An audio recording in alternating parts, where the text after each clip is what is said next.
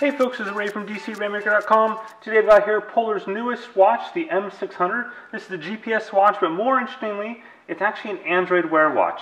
Um, so you see that right there. Uh, so what that means is that you can run Android Wear apps on it, um, which makes it really compelling because Polar doesn't have a third-party app store on their watches today, so there's no other platform. Um, whereas this allows you to run apps like Strava, Map My Run, and all sorts of stuff.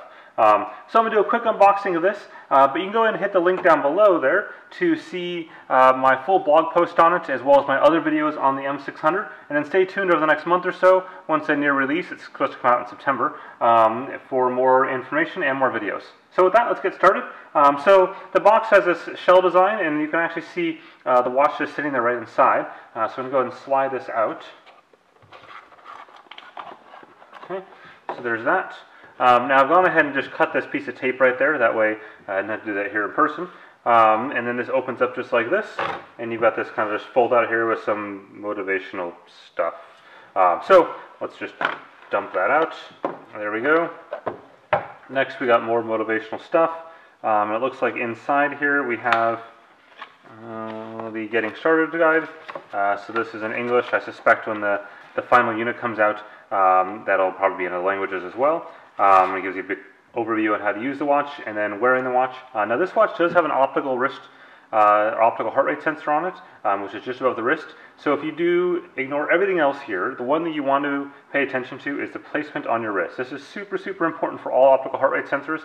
Um, in a nutshell, do not put it on this bone. If, just don't do it. Um, put it here, put it there, put it really anywhere else on your body, not on that bone. So, back to the video. Uh, move that out of the way, this, there, there we go. Um, next we have the watch itself. So we'll go ahead and we'll crack open this little case here and see what's inside. Uh, it looks like we have just the USB charger. So you got a standard USB adapter there, uh, and then you have this kind of customized USB charger. Looks sort of similar to the Polar V800 one, but not quite exactly the same in terms of the contact design. Um, and then we have the actual watch itself. So we can see if we can pluck this out of here. There we go. So there's the watch.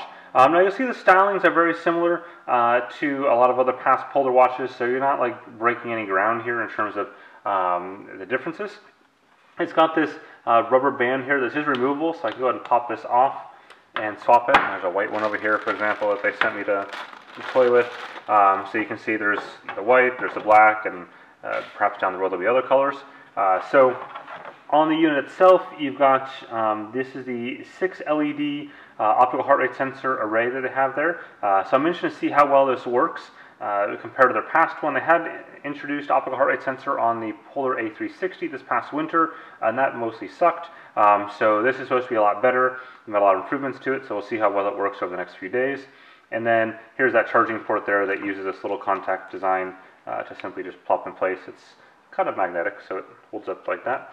Um, so with that, that's just a kind of a quick unboxing. Again, check out all the rest of the videos I have. Um, and then for fun, to show you the difference in size, if I can get this back in here, probably should have done this once before doing it on video. Uh, there we go. Okay, so to show you a comparison on size, here is the Polar V800. Um, so you can see the screen size is virtually identical. I think it might be exactly identical. Um, this has the button down here, uh, whereas this has the one, two, three, four, five buttons on it. Um, like there's also a button right there as well, so we got two buttons here.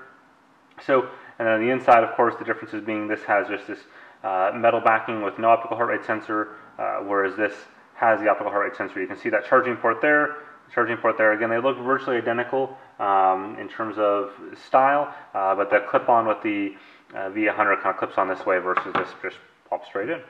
So anyways, as I was saying before, uh, stay tuned to the channel for more videos on uh, all sorts of sport technology gadgets. Um, and also go ahead and hit that subscribe button down there so you can get new videos all the time the second they are released. I usually release them the moment the embargoes lift. So if you want to be the first to know, hit that button.